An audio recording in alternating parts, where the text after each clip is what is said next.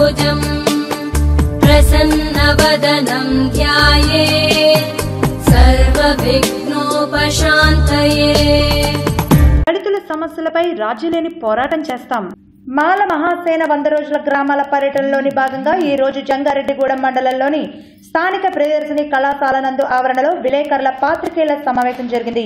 ఈ కార్యక్రమంలో మాల మహాసేన రాష్ట్ర అధ్యక్షులు అలగా రవికుమార్ మాట్లాడుతూ మాల మహాసేన వంద రోజుల గ్రామాల పర్యటన అనేక మాల పల్లెల సందర్శించి మాల ఐక్యత చాటుతూ డాక్టర్ బాబాసాహెబ్ అంబేద్కర్ ఆలోచనలు వివరిస్తూ యువతీ యువకుల పెద్దలకు సమాజం పట్ల బాధ్యతను గుర్తు చేస్తూ ముఖ్యంగా మాలపల్లిలో ఉన్న అనేక సమస్యల పరిష్కారం పోరాడుతూ అనేక సమస్యలను పరిష్కరిస్తామని జంగారెడ్డిగూడెం మండలంలోని మాలపల్లిలో ఏ సమస్య వచ్చినా సమస్య మాల మహాసేన దృష్టికి తీసుకువస్తే ఆ సమస్యలను పరిష్కరిస్తామని ఆయన అన్నారు.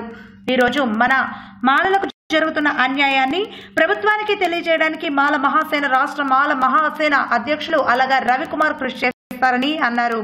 నీకు ఏ సమస్య వస్తే మాల మహాసేన ఫోన్ నంబర్లకు ఫోన్ చేసి ఈ సమస్య తెలియపరచవచ్చు అని ఆయన అన్నారు. Phone number nine six four double zero three two three five three మరియు nine seven zero four two five one three eight ఈ నెంబర్లకు ఫోన్ చేసి మీ సమస్యను తెలియపరచవలసిందిగా తెలియజేశారు. ఈ కార్యక్రమంలో మాల మహాసేన రాష్ట్ర కార్యదర్శి నగర అధ్యక్షులు నల్లమిల్లి శంకర్ మరియు పలిపే మామ్య రియో మాల మహాసేన కమిటీ సభ్యులు మధుర అలెక్స్ మానుకొండ మాణిక్యాలరావు భీమేశ్వరరావు ప్రొద్దుటూరి గోపి పాపారావు శ్రీను తదితరులు పాల్గొన్నారు.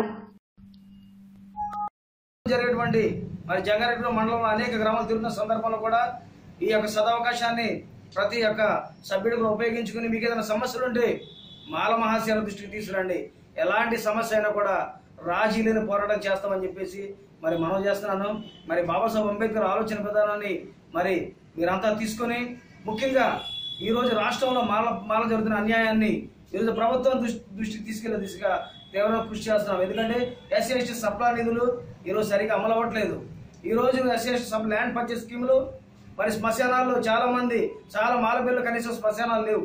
ఈ రోజు చాలా మాలబిల్లు శ్మశానానికి వెళ్ళి రోడ్డు ఒకలా ఉంది లోపల నుండి రహదారులు ఒకలా ఉన్నాయి. ఈరోజు భూ సమస్యలు అనేకమైన భూ సమస్యలు ఉన్నాయి. కొన్ని భూ సమస్యలు పట్టాలు లేవు.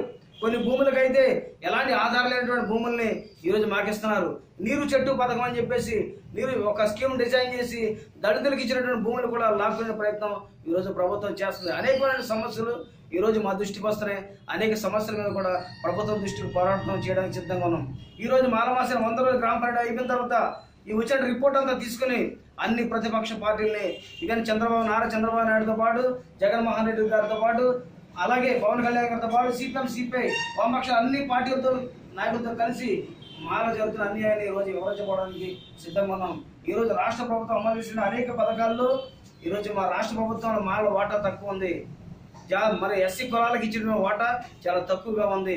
మాకైతే కేంద్ర గవర్నమెంట్ ఇచ్చేటువంటి పథకాల్ని రాష్ట్ర గవర్నమెంట్ ఇచ్చినట్టు షో చేస్తున్నారు తప్ప రాష్ట్రంలో మా పాత్ర ఏమీ లేదు. ఈరోజు మేము కేంద్రంకే ఓటేస్తామా? రాష్ట్ర గవర్నమెంట్కి మేము ఓటేయట్లేదా ఈరోజు ఈ కే- కాపు కార్పొరేషన్ ఉంది. కొన్ని వేల కోట్ల రూపాయలు ఇస్తున్నారు. మరి ఏ బడ్జెట్ నుంచి తీసిస్తున్నారు? మరి కేంద్ర గవర్నమెంట్ ఒక రూపాయి ఇవ్వదు. రాష్ట్ర బడ్జెట్లో తీసేస్తున్నారు.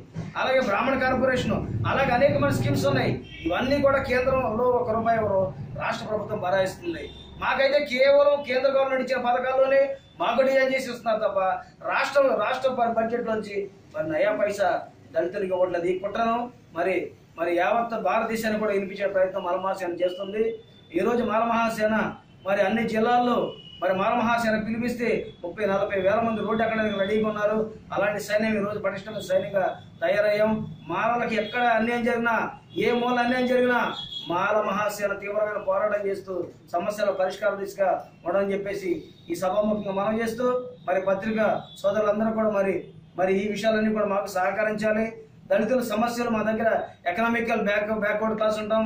కనీసం మాకు జనబలమే తప్ప ఆర్థికమైన వెసులుబాటు ఉండదు. కానీ మీడియా మిత్రులు మా సమస్యను మరి తమ సమస్యగా భావించి ఎక్కడో ఎన్నో అన్యాయాలు జరుగుతున్నాయి. గరకపర లాంటి అన్యాయాలు ప్రతి చోట జరుగుతున్నాయి. కానీ వెలుగు చూపడినట్టు సంఘటనలు వేల కొద్ది ఉన్నాయి. మీ అందరూ కూడా తెలిసినటువంటి విషయమే. కనుక అలాంటి సంఘటనలు కూడా పారదర్శకంగా మీడియా మిత్రులంతా కూడా దీన్ని మరి ప్రచారం చేయాలని చెప్పేసి కూడా